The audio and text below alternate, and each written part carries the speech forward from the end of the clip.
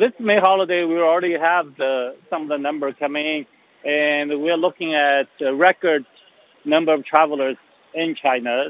Probably even a double-digit growth from the pre-COVID level of 19, uh, 2019. And uh, our, especially the high-end hotels, the resort hotels, short distance trips were very, very uh, fast growth. Uh, uh, so that actually more than offset the, the uh, decline in international travel. So this May holiday um, is a record. Uh, we see record volumes in our transactions.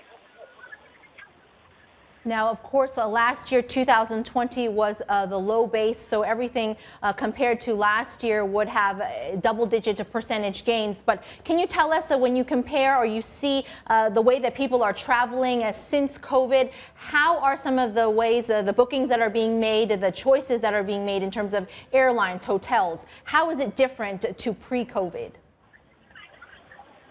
Yeah, when I say double digit, it's actually comparing the 2019 level. So it's just actually it's uh, uh, um, uh, more than recovered.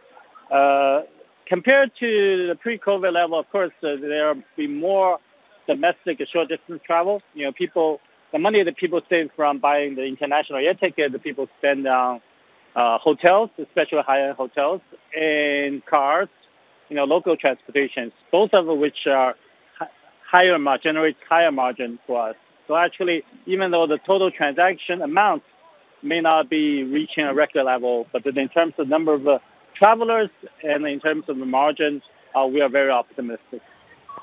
Right, James, one final question on how uh, your deals are being structured with your partners at this stage coming out of the pandemic in this recovery phase, especially with hotel operators or for that matter, uh, airliners, the kind of revenue share that you're working with them on and also discounts, average discounts uh, that you're giving out to attract more traffic.